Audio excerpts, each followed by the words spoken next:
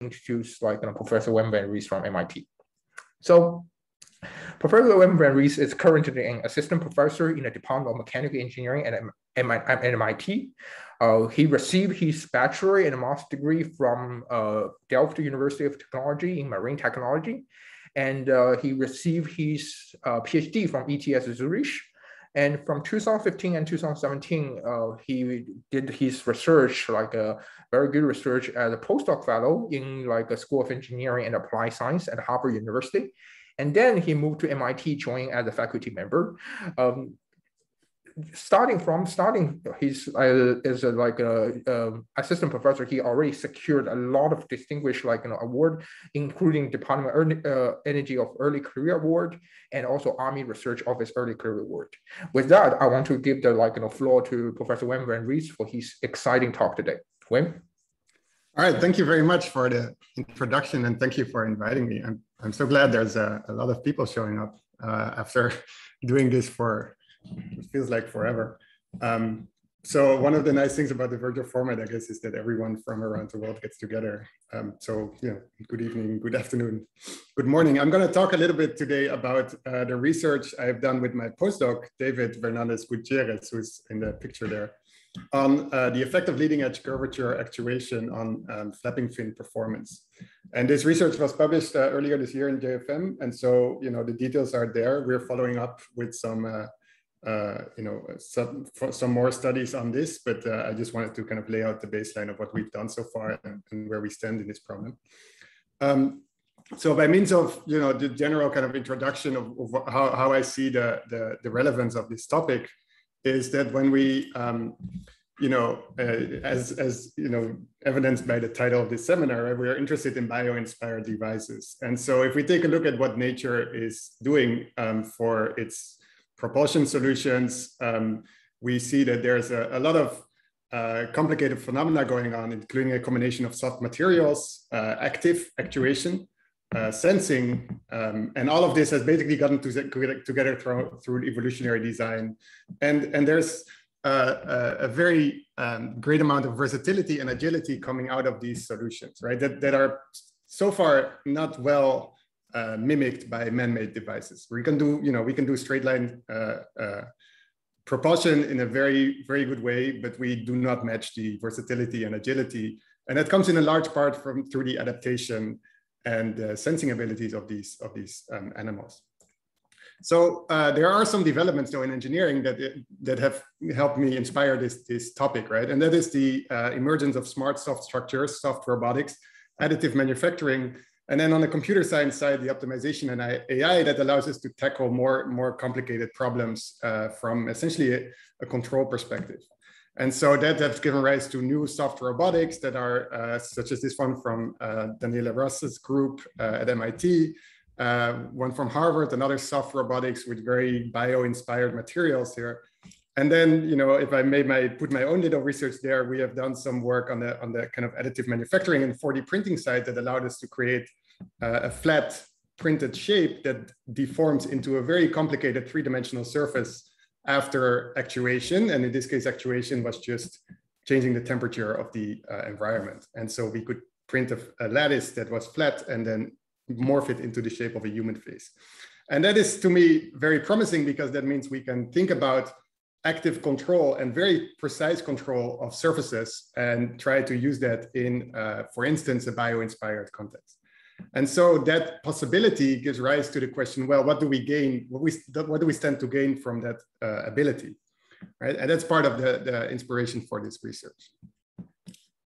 So if I look at the functional design of a bio-inspired swimmer, I can think of different complexities. And so on the left, we have the standard kind of rigid body uh, design. So what is the geometry? What are the kinematics if we impose that?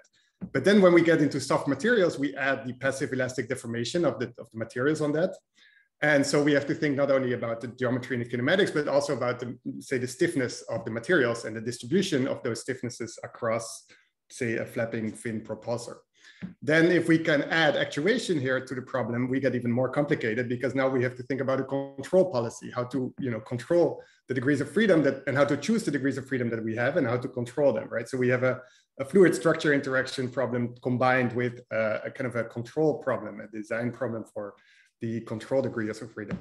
And then ideally, we'd like to somehow close the loop through uh, learning AI, um, you know, some inverse design on the control side where we can work towards autonomous operation by using sensory perception as an input rather than our kind of, you know, engineered, you know, control policy that we came up with, right? So if we can come up with a, a feedback loop there and, and use learning, we are moving towards fully kind of autonomous operation.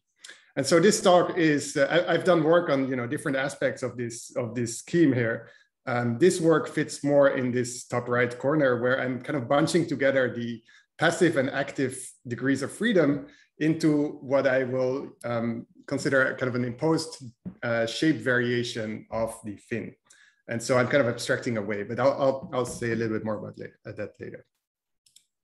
So if we go specifically to the problem of uh, a flapping fin uh, deformation, right? So there's a, a movie uh, from one of the papers of George Lauder um, that I took from the SI of that work where they basically filmed uh, a bluegill sunfish from above in a water, water tunnel. And so you, you can see very well the caudal fin. Um, if you look closely, it's a bit grainy, but you see the deformation, right? So there's a lot of, you know, uh, deformation of this fin going on.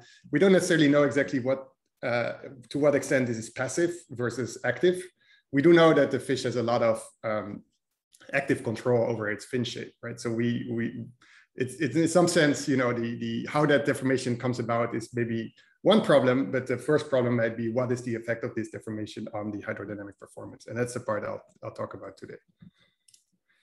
So if we look at you know the, the flapping fin model, which is what I'll use in this study, and we compare it to how a swimmer swims, right? I, I have here an illustrative undulatory swimmer. You can come up with many models. This is one of them. And so if we look at time going from right to left, so the swimmer is swimming from right to left, and we look at different snapshots during its stroke, and we highlight the shape of its tail, right, in this red kind of part here, we can think of that as a flapping fin with um, midline deformation, right? So if I take out that red part and I just close it with uh, some sort of streamlined kind of uh, leading edge here, you know, we get a flapping fin that moves up and down. There's pitching, there's heaving, but there's also curvature, right? And that is the part that I'm interested in here. Uh, and that is opposed to most flapping fin studies where you look at the heaving and the pitching you know, there's a typically harmonic heaving, harmonic pitching going on with some sort of phase difference. So you have amplitudes for both, you have a phase shift, and that three, you know, dimensional parameter space governs the flapping fin problem. We add to that, you know, the effect of heave to be closer to what, you know, a, a, a fish is, is doing in, uh, in kind of normal operation, if you want. Okay, so that's kind of the context of where we're at. If we look at what could cause that deformation, um, you know, we can roughly distinguish between the fact that the fin is made out of you know, elastic materials, soft materials that deform due to hydrodynamic loading. So the hydrodynamic loading leads to passive elastic deformation. And this has been investigated uh, quite a bit through fluid structure interaction, either simulations or experiments, because, you know, that is, uh, uh, you know, you, you add to the degrees of freedom of the flapping fin study some sort of sense of what, what is the stiffness of this fin, right? And then you look at mostly efficiency, right? Because that that that is uh, a way to enhance the efficiency of your swimming. But there's also the intrinsic musculature, right? So the fin has the fish. Most ray fin fish have active shape control. Uh, these are two papers by George Lauder and uh, Silas Alben, uh, investigating, you know, the kind of the more mechanical side of it. How how do the fins, um, how do the fish manage to curve their fins actively? And if you consider that as a degree of freedom, then now you have a much more uh, open space of possible shapes that you can achieve compared to looking only at passive deformations. And so what we do here, instead of you know throwing in the mechanical properties of the fin into the mix, we are looking mostly at what is the effect of a combination of passive and active you know, shape deformation on the geometry of the fin, and then you know, impose that geometry and try to look at the hydrodynamic, uh, the change in hydrodynamic performance due to that geometry. So instead of investigating the large fluid structure design space, we investigate here the effect of imposed curvature variations. And the idea is that, you know, if you can come up with a, a geometry that works very well, then that could serve as a design point for the fluid structure interaction study that follows afterwards, right? So if you know what shape you want to achieve, then then you can, you know, try to solve an inverse problem to find the stiffness distribution for a given you know set of constraints that gets you there but we don't want to like go down to that level quite yet we so so what i'm talking about is not fluid structure interaction it's not two-way coupling between the shape and the flow it's imposing the, the geometric shape of the fin with some curvature and effecting uh, investigating how that affects the um, hydrodynamic performance. So that's kind of the onset of um, how we uh, you know, frame our, our, our work here. Um, we've done everything numerically. And so we have solved the 3D incompressible Navier-Stokes equations in the vorticity velocity form using 2D and 3D simulations. And we handle boundary conditions using volume penalization. And I put a citation there. And at this point, I'm gonna you know, do a little sidestep in my talk. I'll come back to the flapping fin and the leading edge curvature, but I just wanna you know, highlight some of the recent work we've been doing in the lab on the numerical side of things, and then I'll come back to the flapping fin performance. So I'll do a little numerical method sidestep, um, and then we'll get back to the flapping fin performance. So uh, I mentioned volume penalization, right? So, so far, uh, you know, most of my work has been done using volume penalization methods, where basically you take uh, a Cartesian grid and you impose a body on it through some sort of smooth discretization of the boundary. You add a forcing term to the Navier-Stokes equations here in vorticity velocity form. And this term on the right here with the lambda, that is our forcing term. So lambda is supposed to be a parameter much larger than one. Chi is a, a shape that a, function that exists on the grid that indicates basically it's a color function. Where's the body? Where's the flow? And then the body velocity is uh, this US there. That's the thing you want to impose inside the body. And so that has served us really well, but you know it has some intrinsic constraints. This method, it's uh, the way it is. We have it is first order in time, first order in space in the infinity norm. Uh, it's difficult to extract accurate local surface quantities. If we want to look at, say, a pressure or a vorticity on the surface, that's hard because the surface doesn't really exist. It's a smooth transition. And it's difficult to extend to multi-physics systems. Uh, but on the plus side, it's very flexible and very easy to implement. So it has served us well, but uh, it's always bothered me a little bit that the fact that you know this is a, a, a dynamic forcing term to impose basically what are kinematic boundary conditions uh, just leads to intrinsic kind of problems, right? So you have to take small time steps, you have to uh, either or do an implicit or an iterative approach. Uh, and none of that you know, sits, sits very well. And I'd like to go to higher order methods that are, uh, you know, give us more freedom to extend to other problems as well. So in the lab, we've been working on the immersed interface method based on some work uh, done at UC Louvain in Belgium. And we've extended that to uh, 2D problems with uh, multiple bodies. And in the immersed interface method, what you're doing is you're discretizing the boundaries uh, sharply, right? So at any, for any shape, you're looking at the intersections between the shape and the grid lines, and then, uh, you know, enforcing boundary conditions at those points rather than in the smooth region that indicates the trade change from flow to body. And so if you look at the Navier-Stokes equations, you're basically not no longer you know enforcing the boundary conditions dynamically, but you're imposing it kinematically. And that leads to some benefits. We can do third order in time, second order in space. We could extend to fourth order in space pretty easily. Uh, this is a sharp interface method now, so we can extract local surface quantities. They're part of the problem, in fact. And uh, this generalizes to other boundary conditions in coupled systems. So if we want to go to fluid structure interaction or two-phase flows, then this is a, a very good approach to uh, build upon. But you know, sharp interface leads to other problems or maybe challenges. So for instance, in 2D, if you have multiple or even a single body, you have to enforce Kelvin's law for circulation. And uh, we've done uh, some work to fix that. So our status on this numerical method is that we have uh, uh submitted a paper a few months ago on the immersed interface method with multiple stationary and moving bodies in 2D. And this gets us second order space convergence, third order time convergence. And we're working on the, the extension to two-way coupling where the bodies you know, is basically self-propelled. And uh, to extend all of that to 3D uh, and, and do all of this, you know, in a, in a 3D context, we are working on a multi-resolution wavelet-based uh, adaptive grid framework uh, with Thomas Gillis, who's in that uh, right picture. Uh, James Gabbard is on the left. He's doing the IAM work. And the wavelets basically gives us a very clean way to, you know, compress or refine a grid based on you know the scales of, of the signal that lives on the grid. And it gives us an in, intrinsic way to do ghost reconstruction. And if we, we're, we're implementing second generation wavelets on, as well as first generation wavelets. And so that ensures that we can not only compress and refine well, but also conserve some of the moments of the field as we do so, right? So you can conserve maybe circulation, or if you have a scalar, you conserve the mass of that scale. Um, and so those are some, some nice features of the wavelets. Um, that is currently in preparation. Uh, some early results are, uh, this is not a vortex ring, this is just a field that we're moving, but this highlights how the grid is adapting to the moving shape automatically, right? So it's automatically finding what are the scales and what is the, what is the resolution I need to resolve those scales given a certain error threshold. and then we let it go and the grid is following the shape well. And uh, a detail here is that we can, you know, do anisotropic domains, right? So we, we do, can do like many, what are essentially octrees boxes next to each other to do like elongated domains, which are very helpful in, in problems like the ones I'm talking about here. Okay, so that's coming. Uh, that is my little sidestep into the numerical methods. Right now, we're still moving, we're still using the volume penalization framework, which is fine and, and works well. It's just not as maybe efficient as, as it could be. Uh, and, and hopefully our new methods will be in the future. Okay, so we go back to the fins. Uh, this is, uh, uh, uh, you know, the leading edge curvature story. So we have the numerical solver. Uh, we solve the Navier-Stokes equations. Boundary conditions are handled using penalization.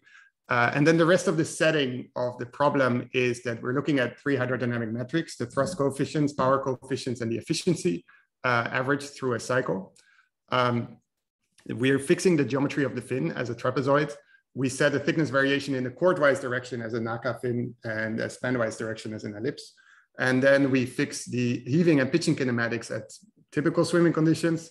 Um, the heaving and pitch are both harmonic. We set the pitch out of phase with the heave um, we have a fixed amplitude of the heave of 0.4 relative to the chord, amplitude of the pitch of 30 degrees, Strouhal number is 0.3, and the Reynolds number is 1500. So those are parameters that we fixed throughout this study. Uh, I do have some results at higher Strouhal numbers at the very end, um, but uh, the rest of the kinematics are basically fixed to these, to these settings. Um, based on you know common swimming conditions, mostly geared probably to, towards maybe uh, efficiency rather than thrust generation. Okay, so here's an example of how that looks like. This is just a 3D simulation of one of our cases under these conditions, because maybe it's more informative to look at the flow rather than these, these, these abstract numbers. Um, so this is a pretty standard kind of 3D flapping fin uh, scenario with the wake consisting of these vortex ring. And Reynolds 1500 is, uh, is, is decently high to show some of the uh, unsteadiness in the flow here. All right, so then how do we parameterize the shape, right? So we're investigating the effect of leading edge curvature variations. And so we have to somehow find a way to parameterize the shape of the fin uh, associated with leading edge curvature variations. And uh, then, you know, find what is the effect of these, these parameters onto the hydrodynamic performance. So we capture the 3D mid-surface geometry in a, in a, in a kind of general framework that, that allows us to, you know, write down uh, 3D surfaces under some constraints. Um, and to do so, we have a, a, a, coordinate system that lives on the fin. We have a curvilinear direction u, which follows what are uh, inextensible rays. These are material lines on the fin uh, that connect the leading edge to the trailing edge. So these are the dashed lines in this figure here, where the leading edge is blue and the trailing edge is in red. Um, then following from that, we create an orthonormal coordinate system uh, at Darboux frame, which is basically formed by that, that uh, uh, tangential vector to the ray, the normal vector to the surface, and then the binormal vector as the cross product of those two. And with that Darboux frame, which is basically a variation of the Frenet frame for a curve, right? But now the normal vector is, is fixed by the surface normal. Uh, we can write down these ordinary differential equations to uh, basically uh, relate those three vectors to each other through um, what are three you know, curvatures from you know, the geometry world. Uh, those are the normal curvature, the geodesic curvature, and the geodesic torsion. And so if we can find a way to specify those three curvatures over the surface of the, over the mid surface of the fin, we can construct the fin, uh, the, the, the 3D geometry of the fin. And the way we do that is that we use the normal curvature as the input. And so this is the thing that we're going to impose, the time varying curvature of each ray. So a function of you know, the space, the mid surface and a function of time. And then we're going to solve for these other two components by assuming that the mid-surface is inextensible and that we have a smooth, a, a, a smooth surface in the spanwise direction. And those two constraints allow us to solve for the other two components of the uh, system of uh, equations here and only work with the normal curvature. So we've reduced the problem to, okay, how do we parameterize the normal curvature of this fin? And what's the suitable parameterization for that? Um, and this is in general a function of u, the chordwise coordinate, and v, the spanwise coordinate, and time. And so the way we do that is through a couple of assumptions to bring down the parameter space. And uh, we hope those assumptions are uh, well uh, validated, but those also lead to you know, need for more research in the future. Uh, the first assumption is that we assume the, the curvature is constant along each ray. So we take out the dependency on u, and we just assume that it's a function of the spanwise coordinate and time. that means that each ray is essentially a circular arc along the chord, right? It, it deforms, if we change kappa, we change the, the radius of curvature of that uh, circular arc. Um, the second assumption is that we're going to assume something about the time dependency here, and we're going to assume that the chordwise curvature variations are in phase with the heave. So it's harmonic in phase with heave. That's based on uh, that, that video here, uh, where we see that you know the, the, the the um, curvature variation seem to match pretty well uh, the, the heave motion, right? So we have during the pitching, when heave is zero, we have no curvature, and then the curvature is maximum at, uh, you know, the, the, the, the extrema of the heave motion. And then the third assumption is that we assume that the spanwise curvature is out of phase with heave, which is essentially equivalent to doing uh, a first order approximation of a phase shift on the curvature that varies quadratically with the height, right, with V. And so what that leads us then, uh, the, the, the, very, the, the, the, parametrization of kappa n then leads to something like this. So remember heave was uh, uh, sine here and then pitch was out of phase with the heave. So it's a minus cosine. And then the kappa n as a function of V and T is written in our parameterization as one coefficient times the chordwise curvature variation. So this is the chordwise curvature parameter and then a spanwise curvature parameter times v squared, because we want it to be symmetric, um, times the out of phase component. And so we have a chordwise curvature amplitude and a spanwise curvature amplitude, and those are the two parameters that we're going to investigate. Right? So we have brought down this whole problem to like two parameters uh, under these assumptions. And then to be complete, we have to you know, take into account some corrections here for the planform shape because you know, the rays might not be horizontal, but they might go up or down, and the trailing edge might have you know, some sort of uh, vertical shape to it that, that leads to the rays being not equi, equi length, right? Um, so we have some corrections there, but basically we have these two parameters, chordwise and spanwise curvature amplitude, dictating the chordwise curvature variations in phase with heave and the spanwise curvature variations phase with pitch. Okay, and so the question is, what is the effect of these two parameters on the hydrodynamic performance? And so to do that, we just, we simulated them, right? And so here, uh, here are actually some, some visualizations of how that looks like. Maybe two first before looking at the results, because it might make sense to have a visual picture of that. So if we have a, a rigid fin here, um, this is just flapping under those fixed uh, parameters. If we add the effect of, court, of chordwise curvature variations, I hope the video um, works decently well on, on Zoom. But on the right, we have what is effectively a large positive chordwise parameter. And on the left, we have a large negative chordwise parameter.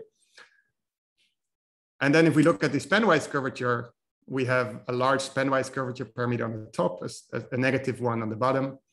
And then we can combine these guys, right? So we have, uh, you know, different combinations of chordwise and spanwise curvatures here in the corners. And it's already interesting that some of these shapes look much more natural in a way uh, which is not very scientific, but it, it looks more intuitive. For instance, the one in the top left here looks almost like a passively deforming fin, right? Under some, uh, you know, assuming it's, it's like a soft material or something. And the one on the bottom right here looks like it's doing a lot of active work to, to you know, reach that shape under normal kind of underwater swimming conditions. Okay, so this is the phase diagram, right? So we have, uh, you know, chordwise left to right and spanwise top to bottom. And now we can put the results on this phase diagram. So here we have the effect of uh, spanwise curvature top on the vertical axis and chordwise curvature on the horizontal axis on thrust. And here we can see, for instance, rigid fin would be at zero, zero. And so the effect of the, uh, the maximum thrust coefficient here is in the red dot here. The, the, this, the rigid would be the gray and we can get about 15% increase in the thrust coefficient by adjusting what seems to be mostly the chordwise curvature, right? And a little bit of spanwise curvature. Um, so thrust has an optimum at positive AC, maximum thrust 15% over rigid fin. Uh, power increases with, uh, so this is the power coefficient. It seems to increase with AC and decrease with AS. So if we go up, we have a lower power for, for constant chordwise curvature coefficient. If we go right, we have a higher power for the same spanwise curvature coefficient. And then if we look at the efficiency, which is the ratio of these two, we can see that the optimum happens right in this top left corner, right? Which I just said seems to be like a, a very natural kind of shape on the eye. It's, it, it, it turns out that is also the most efficient way of moving. And the spanwise curvature uh, actually has, has, has, has, quite a bit more of an effect on the efficiency than on the thrust. And so we have a peak for efficiency at negative AC, positive AS, and we have about 18% efficiency gain over a rigid fin by uh, doing these uh, curvature variations. Okay, so let's look a little bit about these two effects separate. So let's look first at the effect of chordwise curvature.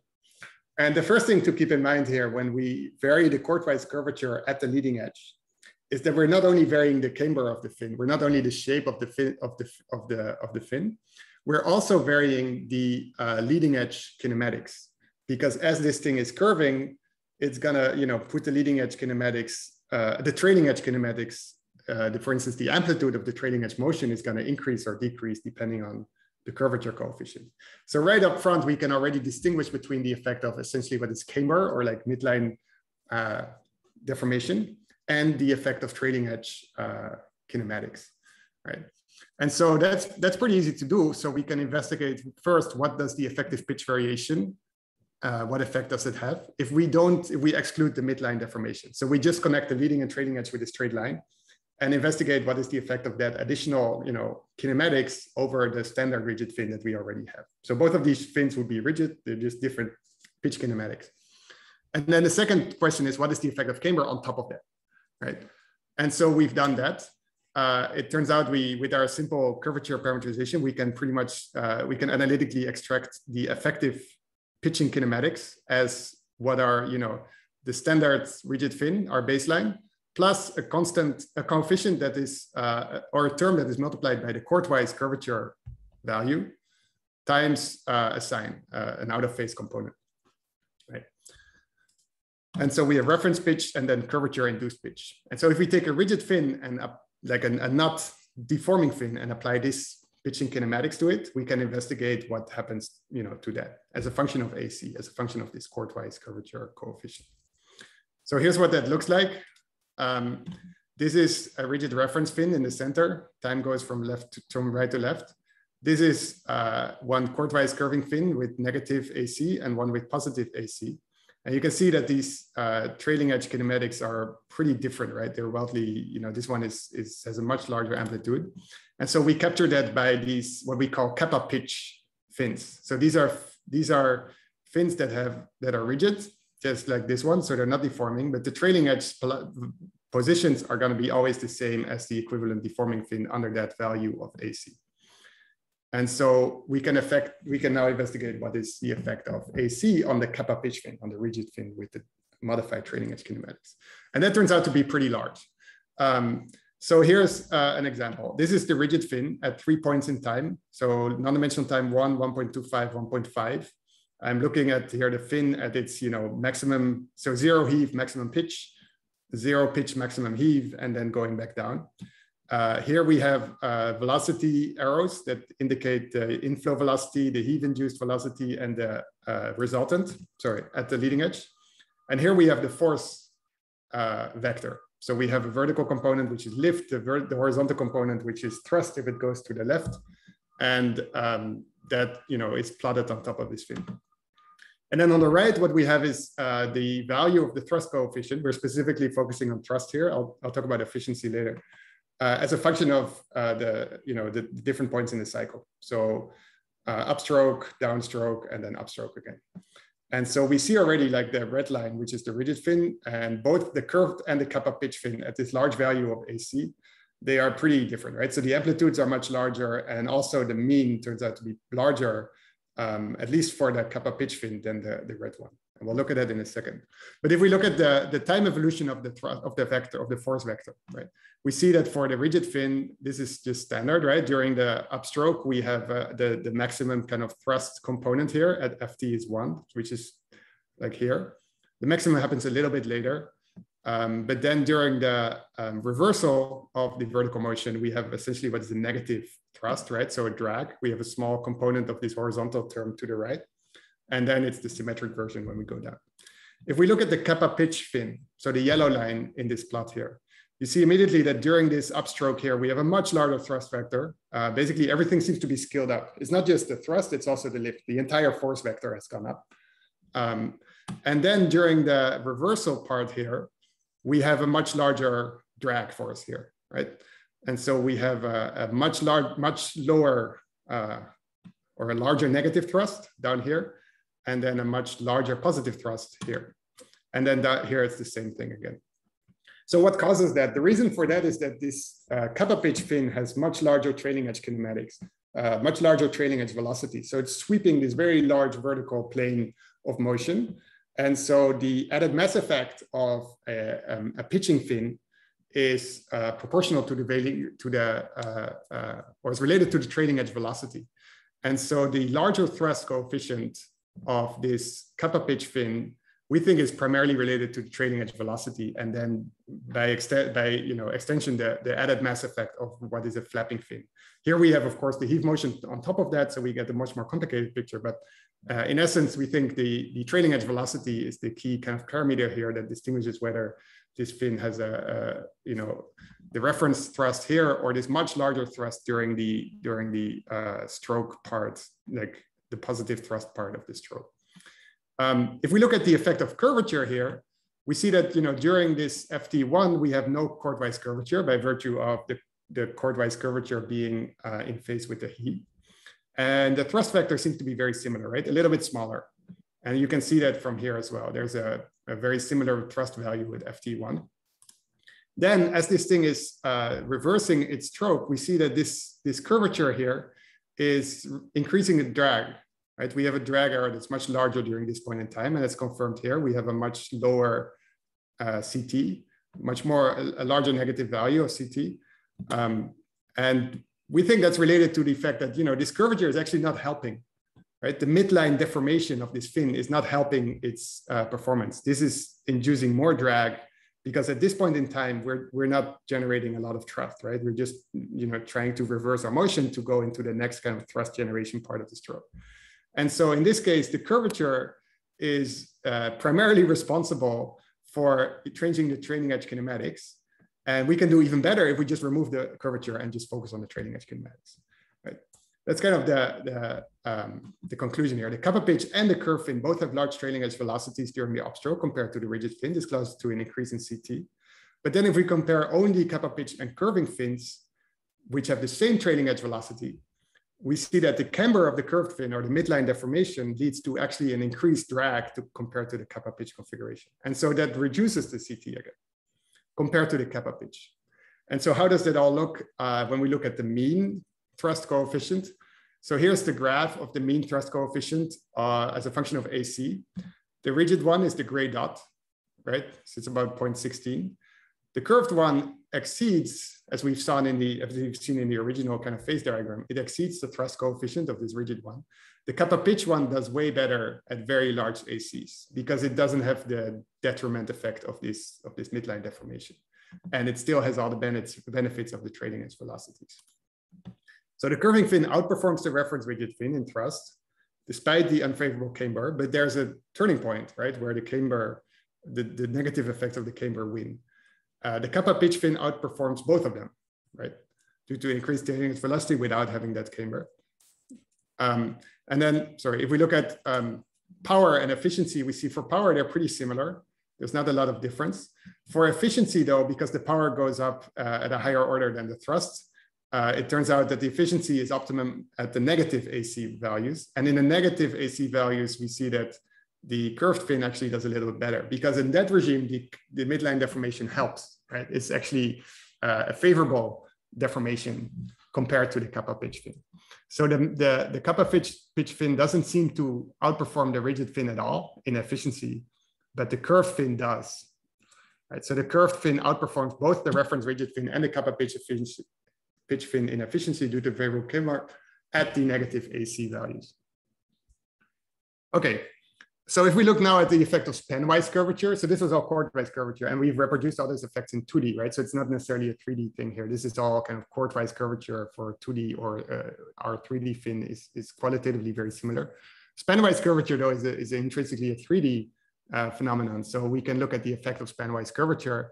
Uh, and here is again the, the, thrust coefficients and the power coefficients for uh, the entire kind of phase space. If we just compare at zero chordwise curvature, a positive and a negative spanwise curvature in both thrust and power. Uh, so here are the two cases, positive spanwise curvature on the left. This is how it's uh, how it's flapping. And then negative is on the, on the right. Sorry, let me go again. Then what you can see is that um, from the data here, the same thrust, uh, both, both cases have approximately the same thrust. So they sit approximately on an isocontour of thrust, but the power is drastically different between the two. The positive spanwise curvature has about 30% decrease in power compared to the negative spanwise curvature. And we think it's related to the fact that, you know, the, the positive spanwise curvature cases are having a, a, much reduced pitching angle of the top and bottom rays.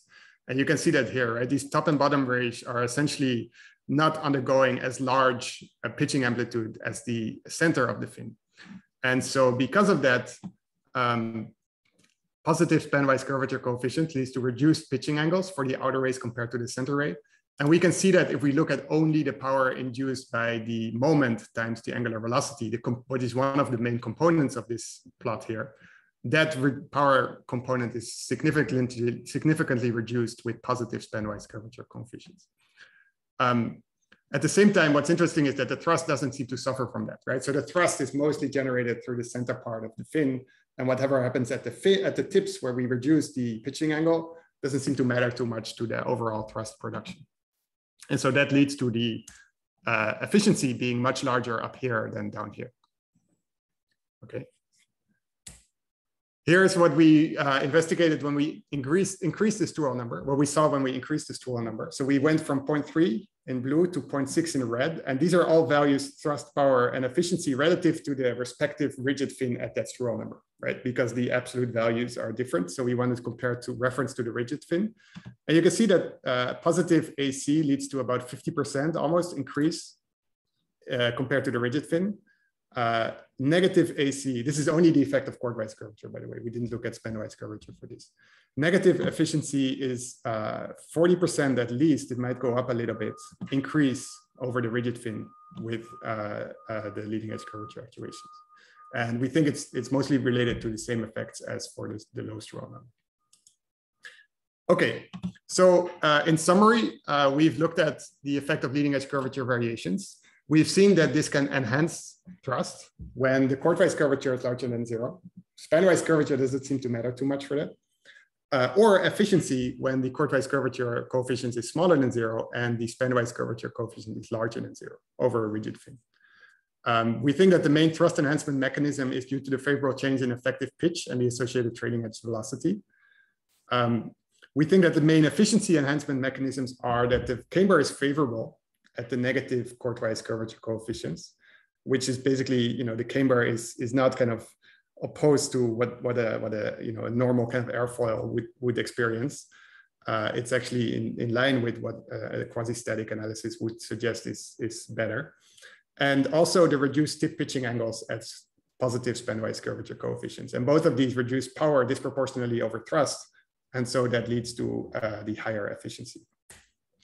Uh, the effects are just amplified at Strouhal number, um, and all the chord-wise curvature effects are reproduced in 2D. Um, so those seem to be pretty robust. Um, so if we take this to a bigger discussion, right, because it might seem pretty uh, maybe uh, anticlimactic that the, the it seems that the kappa pitch does even better than the normal fin. So what would be the than the curving fin? So what would be the benefit of doing leading edge curvature actuation over, say, controlling directly the pitch angle? And I think uh, you know, this is a discussion, but um, in terms of uh, looking at the fin as a part of a bigger, you know, a, a self-propelled body, uh, I think that the uh, leading edge curvature allows uh, a very large effective range of hydrodynamic performance, including maximum efficiency. The maximum efficiency is only achieved with leading edge curvature actuation here, by the way, not, not through the kappa pitch fin. But what the leading edge curvature provides is a way to control the shape of the fin localized, right? So the pitching kinematics in a way arise from the entire body undulations, right? But the curvature actuation is local, right? We can have musculature, the, fin, the fish has musculature at the base of the fin, and it allows the, that allows it to change its shape locally. Uh, and that might be beneficial over, say, changing the entire body undulations, because that might happen on a larger time scale uh, it might you know, be related to, to other effects. So the curvature would be uh, a way to fine tune uh, or correct or adjust whatever the body undulations give rise to uh, on a localized way rather than over the entire body. And the other part of curvature actuation could be that, you know, uh, if we look back at what causes curvature actuation in real life, it could be part of it due to the elastic deformation of the fin. And so, you know, roughly maybe the negative chordwise coefficient range could be achieved by uh, passive deformation. So if you design a fin with the stiffness distribution appropriate, we might be able to reach the negative, the shapes associated with negative chordwise coefficients. And so, you know, that, that is just then within reach of, you know, a, a passively deforming fin. Doesn't require any energy. It's just automatic, um, automatically achieved by the shape itself. And so part of the beneficial deformations could be offloaded to just, you know, the hydrodynamic loading and the mechanical response of the fin given a, a structural design. And uh, the last part that, you know, if you consider the bigger picture of leading edge curvature actuation, we only looked at symmetric vertical spanwise actuations, right? But you can also think of like a term that is linear in V. And so then you can, you know, adjust the uh, roll of the, of the swimmer. You can do all sorts of, you know, more intricate maneuvering if you have this control over the leading edge curvature. So in plane, out of plane maneuvering. And that's uh, something that would be interesting to study in the future. Um, but it's definitely a, a, something that you can achieve through leading edge curvature actuation and not say by adjusting the, the pitching over the, the pitching angle of the fin itself. So the, our future work uh, and current work, in fact, is going to be to uh, unravel the effect of pitch and camber variations for different, uh, also phase shifts of chordwise and spanwise curvatures with respect to heave and pitch. So these are two things, right? One is the phase shift, uh, you know, what if the curvature is not in phase with heave, but maybe some, is there an optimum phase difference uh, on the curvature compared to heave and pitch? And the other part of it is, uh, you know, what if we adjust the trailing edge kinematics or fix the trailing edge kinematics and just look at the effect of camber? And uh, we have some pretty solid indication from this study that, you know, there's a favorable camber and an unfavorable camber. And our early results on, on doing that study seem to confirm that. So we see efficiency at you know negative AC uh, uh, values. We see high thrust also at regions where the camber actually helps uh, the performance uh, uh, if the trailing if the trailing edge kinematics are fixed, right? So if we take that out of the equation, the picture looks uh, a little bit different. so that's stay tuned. That's coming up. Um, so that's it. I'm happy to take any questions or you know discuss this further on either the numerics or the or this leading edge curvature actuation um, study. But thank you all for for for listening, and uh, I'm happy yep. to take questions. Okay, thanks, Wim, for this very informative and great talk. I have a lot of questions, but before, like, you know, if I can uh, release my questions, like as a Kraken, so not a Kraken, so, but uh, allow me to let the like audience, if the audience have some questions to um, to ask like Professor uh, uh, Wim Van Rees, like, you know, so. You can unmute yourself or raise your hand or type into like in a chat box. So.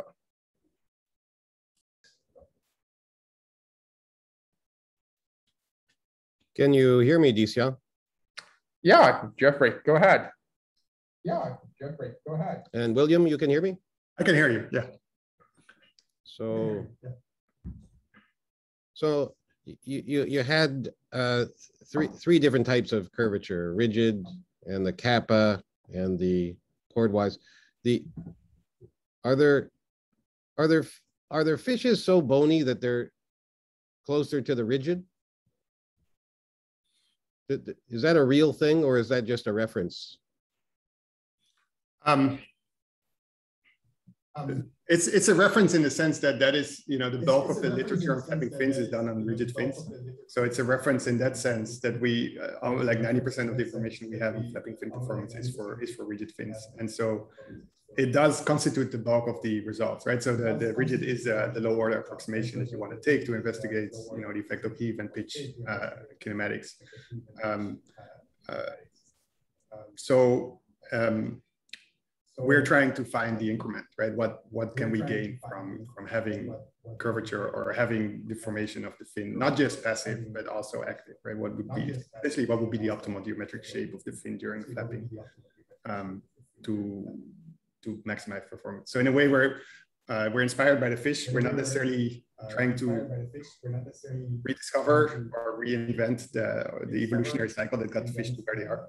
Uh, we're, we're looking at what is, you know, in an, in an abstract space, what is what is the, the optimal shape that leads to um, the optimal hydrodynamic, the optimal shape for, for hydrodynamic I guess I guess what I'm saying though is in in nature are is the usefulness of your your your improvement species dependent? Are there some species that hardly curve the fin when they swim versus others that curve it a lot or or is it all one problem that we're looking at? No, no, there's definitely different uh, different types of swimmers. Uh, I would say like larger ones, maybe tuna, for instance, would, would be would have much stiffer fins than than these um, the bluegill sunfish, for instance, that I showed in the in the picture, or at least it would have maybe a different type of of deformations. Uh, I think the other point though is that even the the fish that have uh, like the bluegill sunfish in the picture, even the fish that have demonstrably large kind of deformations or curvature variations of fin, they do have control over that shape.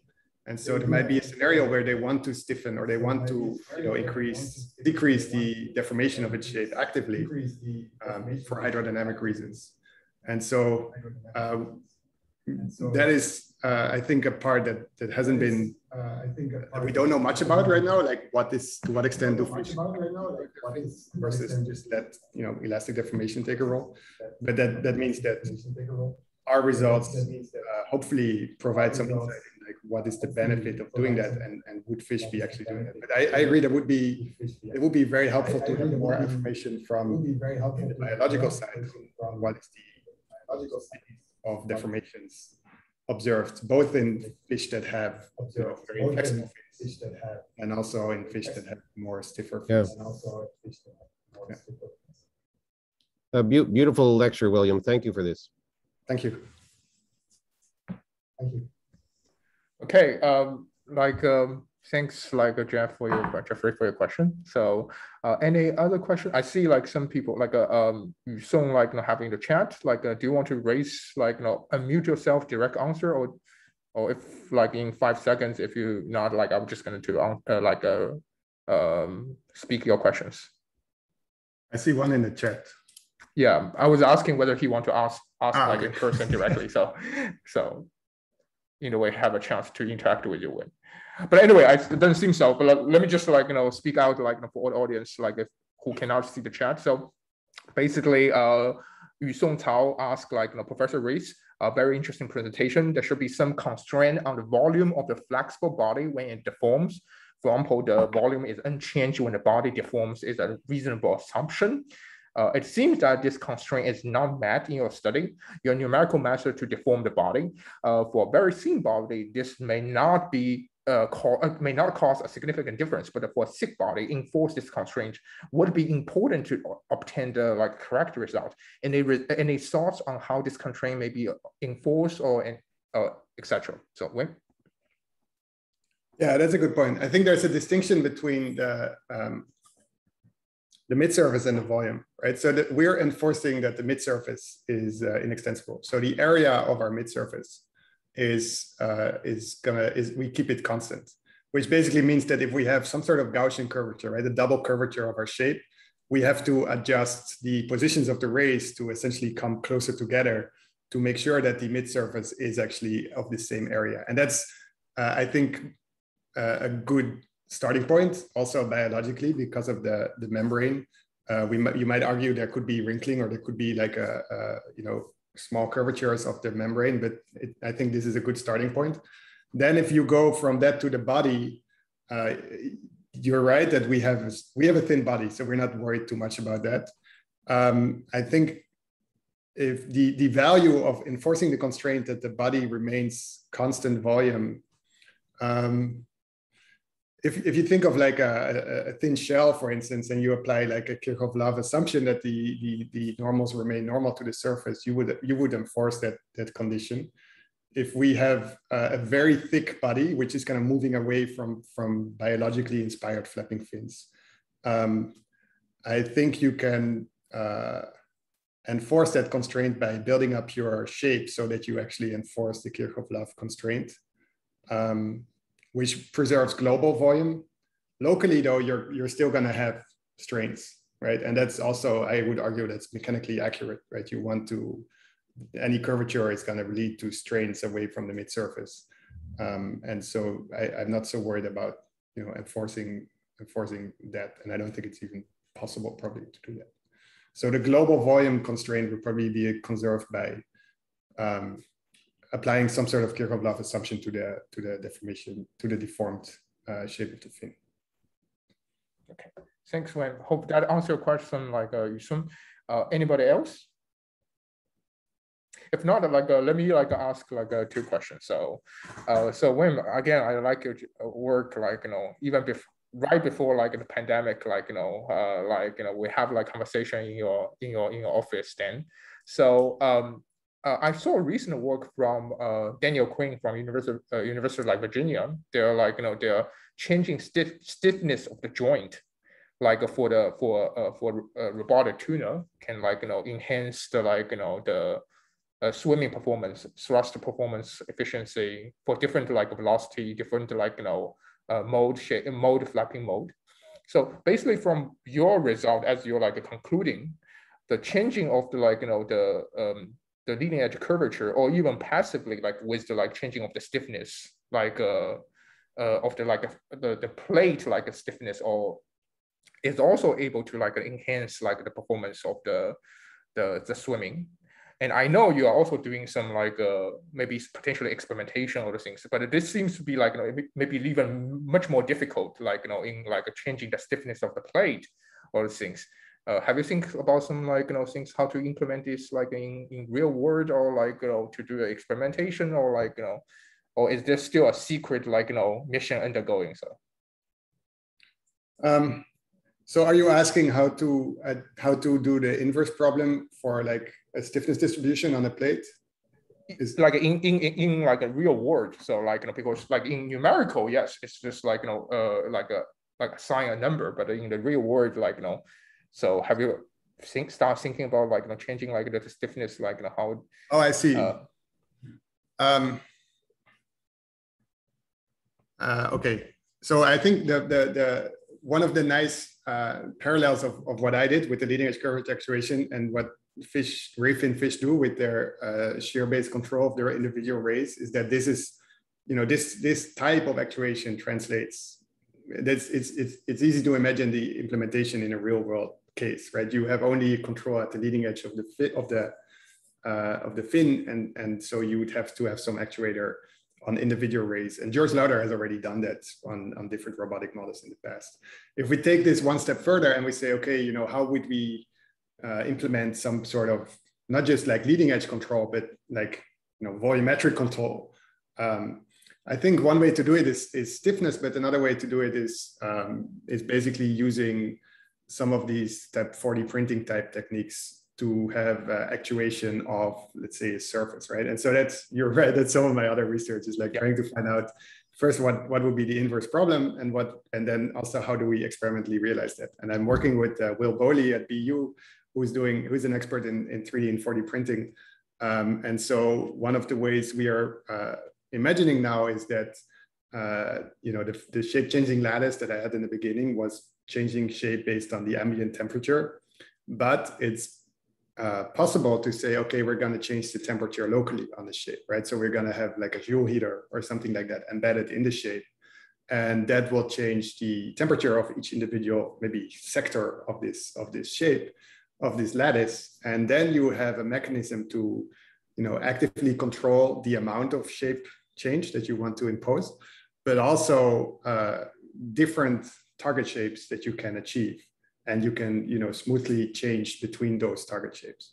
And so the associated inverse problem is going to be awesome and very, you know, uh, yeah, very interesting. But in terms of the experimental side, uh, it's actually, uh, you know, I think it's close. I think we can we can start to think about that.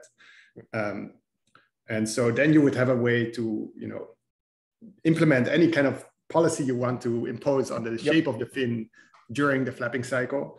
Implement that in an experimental um, uh, framework.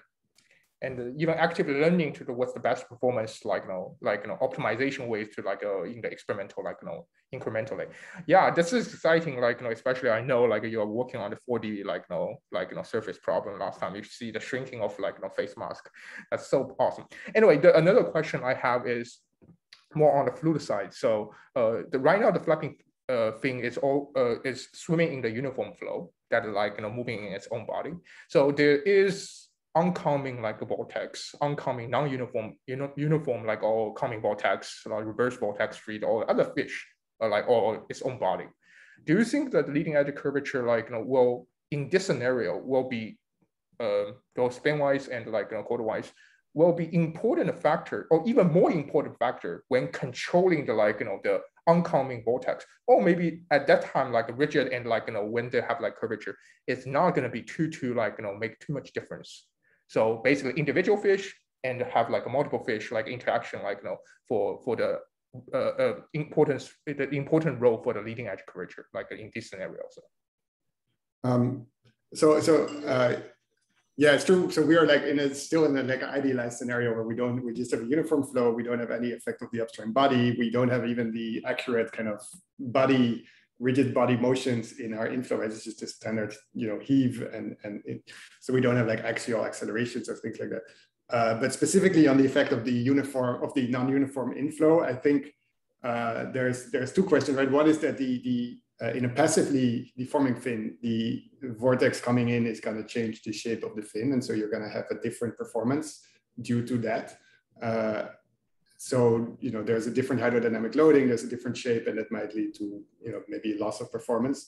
And so if you want to think of the actively deforming fin, the question is how do you correct for that? Or how do you adjust your shape of the fin to correct for the, you know, maybe the possible loss of performance you would get if you wouldn't do that with an incoming vortex uh, or an incoming undisturbed flow. And I think there, um, uh, that, that I think is one of the it's related to this discussion slide I had, which might, you know, not everyone might agree with it, but I think that the, one of the benefits uh, of the curvature control is this localized, you know, kind of, it's almost like a, you know, a, a small correction on top of what the entire body is doing in terms of pitching and, and you know, heaving, which is essentially the body moving laterally, right? And so uh, if you if you are, you know, if you're fishing, you're moving your body and you're swimming, you have the heave and pitch basically imposed by your body undulations, which are, uh, you know, operating maybe on a different scale than, than the leading edge curvature. So I think the leading edge curvature is actually a really nice mechanism to be able to kind of control uh, your shape of the fin rapidly uh, in, in related to, you know, disturbances that happen possibly due to an incoming vortex. So that, that's, I think, what is uh, what would be interesting to uh, to investigate a bit more and think a bit more about. Yeah, especially like uh, considering like you know like have the multi-body like a code is coming online more and more efficient, like more and more like you know strong like from your group, like it's maybe like you know even more. Yeah, yeah, but I think it would be important to investigate maybe the baseline, which is what happens if you just have a passively deforming fin yeah. and uh, you shoot a vortex at it uh, compared to an undisturbed flow. Yeah. Uh, how much yep. how much do you actually want? How much does it you know reduce the performance? Do you actually want to come up with like a very sophisticated control thing to to correct yep. for it? Like the vortex ring is coming, or like even a single vortex coming, like you know, how it's like you know, yeah, you yeah you have to come up with some sort of uh, kind of uh, yep. reduced order space to investigate investigate as well. Yeah. Okay. I think the time is running out. Uh, uh, I think I want to like you know uh, thank like uh, Professor Wim van Rees for this like you know interesting talk and uh, thank you very much for everybody coming and uh, we actually we really, we, coming and uh, we actually at peak. Yeah, have we really run out of time? Because I had I had a follow up question to your leading edge curvature question. Okay, it depends on like a win. Can you, can you so do like one more question? He, it depends on like a win. So like if he, I I have time. Uh, are we are, are we overworking you there? But it's really a combination of my first question and uh, and DCI's question. If we come back to if we come back to species in nature, do are there any that have no leading edge curvature, and and is that also something that this that the animal can control? Um, so I think the animal, so we know the animal can so control. Animal, so we know the animal. I think that's, uh, we don't know to what extent and in what scenarios exactly. We don't know to what extent and in what scenario. So I think my my approach here has been rather than I don't have a, a, a fish tank. I, I don't look at fish. I, I want to see you know if if we take that degree of freedom into account, what do we stand to gain from that, or what does an animal stand to gain from that, or for that matter, a robotic fish stand to gain from that. Um, so it's it's for me. I'm it's a relevant question. Uh, it's not something I can answer with my kind of research. Um, I would be really interested in in the answer to that question. But from my perspective, um, I'm thinking in a more broad way than just kind of fish, right? This is bio-inspired, but I'm not trying to, uh, you know, go and apply that back into biology necessarily uh, alone. I'm trying to think about what does this mean for, you know, both kind of soft robotics as well as kind of a broader biological context. So I'm, I'm, I'm I, I agree that it's an interesting question, and I would be interested in the in the ads to that, but I don't have I don't have that. Jeff, you are muted. Jeffrey, you're muted. Uh, I, I, sorry about that. I, I, I, didn't mean to narrow the focus here. It was just a, a, passing curiosity, but I, I agree for the younger viewers here that your your research is a wonderful example of of uh, work work that is uh, curiosity driven and and it shouldn't limit itself to to what is available in nature, of course. That's that's but but but still, if if I were a fish, that's all I'd I, all I'd care about. And and so um, so anyways, I was just looking at from from that point of view. Well done, William. Okay, thank you. Um, again, sorry to interrupt, uh, Dixia, but thank you, thank you for the extra time. Oh no no no! Of course, like it's WAM slam time. So like, uh, thank you, uh, thank you for your question. So again, thanks like uh, Professor Rees like uh, for his distinct, his nice talks, and uh, we have reached like 130 people for your talk. Like you know, it's a, a new record like a WAM. So well, which awesome. is terrific. So, and uh, uh, uh, the, the, the video will be revealed by Professor Rees, and like once it's done, it will be posted online, and we'll send like a reminder to everybody. And I, want to take this opportunity again, thank like Professor Rees for his time and for you all attending. And also, I want to give like an advertisement for next week talk will be like a uh, Nicholas Shi from US Naval Research Laboratory for on the biohybrid robotic jellyfish using microelectronics to drive the live jellyfish to swimming. Like uh, so, it's a, com a combination of like you know real animal and like uh, electronics. So with that, uh, thank you very much, Wim, and thank everybody for coming. And I wish you a safe, uh, happy, and like you know morning, evening, afternoon, and like you know yeah. See you next round. Bye bye. Thank you. Thank you for having me.